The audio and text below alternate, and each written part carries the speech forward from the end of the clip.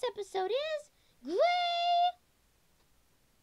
So anyway, the next challenge is to stand the balance beam. Person who stays on the longest wins. Ready? Go! Hey, you know what? You, Teal, you need to go.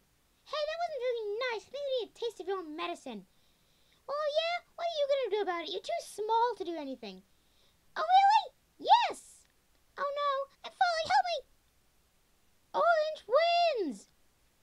But viewers, you won't be voting on who will be eliminated. The previously eliminated contestants will. The viewers will be voting on one previously eliminated contestant will rejoin the game. So you can vote either blue.